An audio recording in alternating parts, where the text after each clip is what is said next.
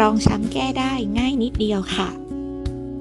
มีอาการปวดแสบร้อนที่ใต้ฝ่าเท้า ตอนเดินหรือยืนปวดจี๊ดที่ส้นเท้าฝึกตามคลิปนี้ได้เลยค่ะ เริ่มจากการวอร์มข้อเท้าโดยใช้ท่าหมุนข้อเท้าค่ะ ให้มือนะคะผสานกับเท้าฝั่งตรงข้ามแล้วค่อยๆ หมุนไปแบบนี้ค่ะหมุนทั้งสองข้างเลย สลับโดยหมุนกลับทิศกันไปด้านหน้า 5 ที และไปด้านหลัง 5 ทีค่ะ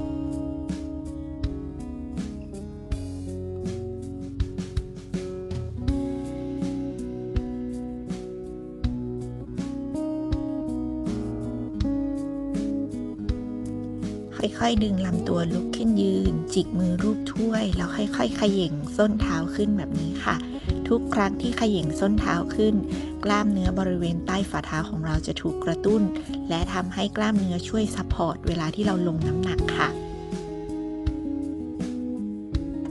การเพิ่มองศาการยืดของข้อเท้า สามารถนั่งเหมือนนั่งยองๆ แล้วคุกเข่าไปด้านหน้า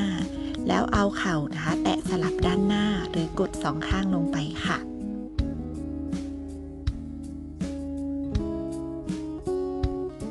รที่มีอาการปวดบริเวณข้อเท้าด้านหน้า สามารถดึงยกเข่าขึ้นแบบนี้เพื่อเป็นการนวดได้นะคะ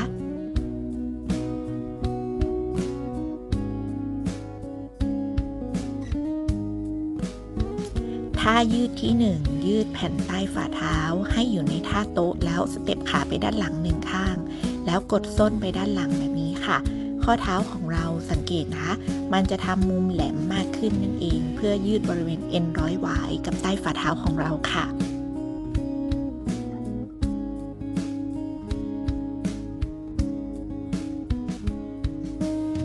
ท่าที่ 2 ท่านี้ดีมากๆ เพราะเป็นท่าที่ยืดทั้งหลังขาแล้วก็น่องนะคะ โดยการทำท่าพีระมิดก้าวขามาด้านหน้าหนึ่งข้าง ด้านหลังหนึ่งข้าง แล้วค่อยๆ พับตัวลงไปค่ะ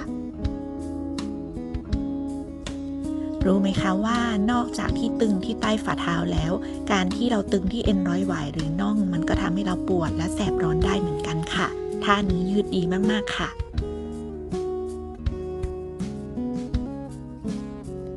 สำหรับคนที่ไม่สะดวกยืนนะคะ เราจะนั่งโดยการยืดท่านี้ค่ะ นั่งกระดกเท้าแล้วใช้มือผสานแล้วค่อยๆ ถีบเท้าขึ้นด้านบนนะคะ เอาตามที่ร่างกายเราไหวค่ะ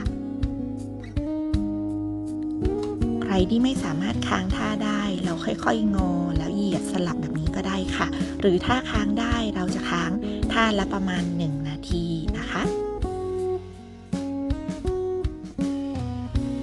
ถ้าเราฝึกประจำอาการรองช้ำหรือปวดจี๊ดที่บริเวณฝ่าเท้าส้นเท้าของเราหรือร้อนออกฝ่าเท้าจะค่อยๆดีขึ้นค่ะนามัสเตฝากกดติดตามครูตู่ด้วยนะคะ